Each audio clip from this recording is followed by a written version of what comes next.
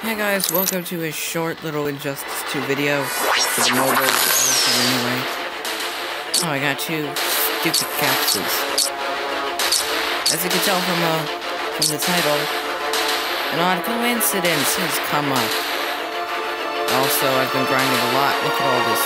All gear for Batman, all gear for Wonder Woman, all gear for Green Lantern, all gear for Scarecrow, all gear for Harley Quinn, all gear for Superman and Catwoman. All gear for, of course, Amazon Wonder Woman, you're getting an achievement for that.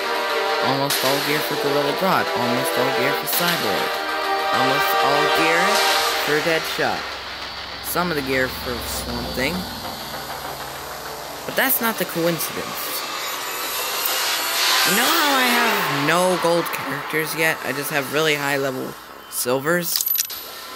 Unbreakable Cyborg here. Cyborg. Without, before even buying him, or getting him, I already have, without having him unlocked, all five pieces of gear.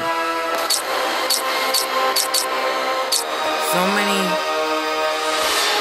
so many of them, I even had to get rid of some.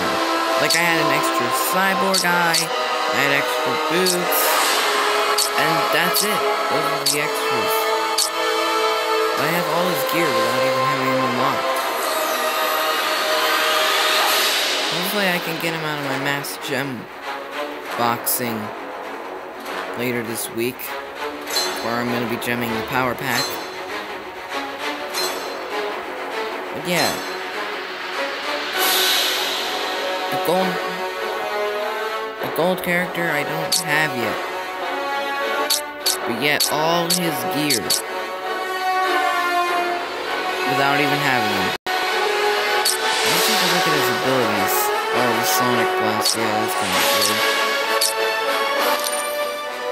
Anyways, this was a big coincidence.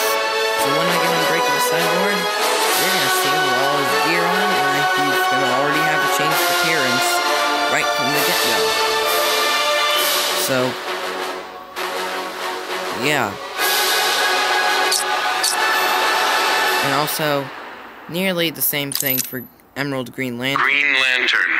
Because I have, I'm missing his mask. I have the Green Lantern armor, the Green Lantern gloves.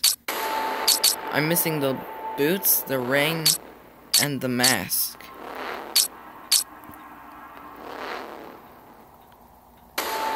Yeah.